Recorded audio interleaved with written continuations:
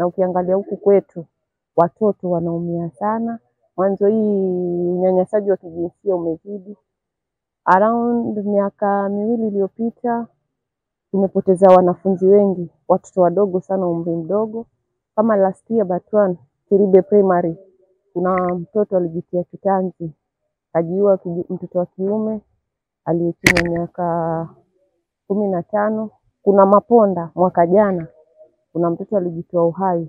Kuna Mbegani Primary mtoto alijitoa uhai. Baadhi hao ni wachache tu, lakini wako wengi ambao ujumbe hatuupati huku. Pia mimba za mapema zimezidi, watoto wanaacha shule sana huku kwetu, na hiyo kama iko under community scorecard huko hawajaifutisha huo mradi huo.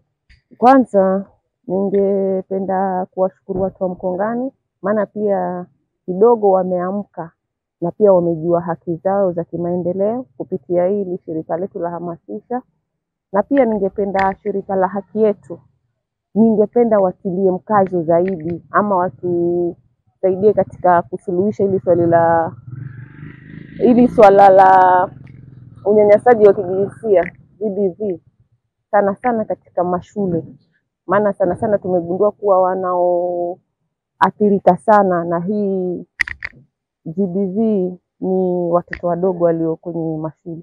Pia ningependa kutoa uhamasisho kwa wazazi wa Mkongani, maana tumegundua kuwa masuala mengi ya unyanyasaji wa kijinsia yanatokana na kuwa wazazi hawana ukaribu na watoto wao. Kwa hivyo ningependa kusisitiza wazazi wa Mkongani wajenge ukaribu na watoto wao ili wapunguze hili suala la unyanyasaji wa kijinsia, maana watoto wengi wameshindwa kutatua matatizo. Mtoto akinyanyaswa kule nje, mzazi hana ukaribu na mwanawe, kwa hivyo mwanawe hajui ile shida ampelekee nani, na suluhisho la pekee ambayo mtoto anaona aweza kuchukua ni kujitoa uhai. Kwa hivyo wazazi, uhamasisho, ketini na watoto na mjenge ukaribu na watoto wenu.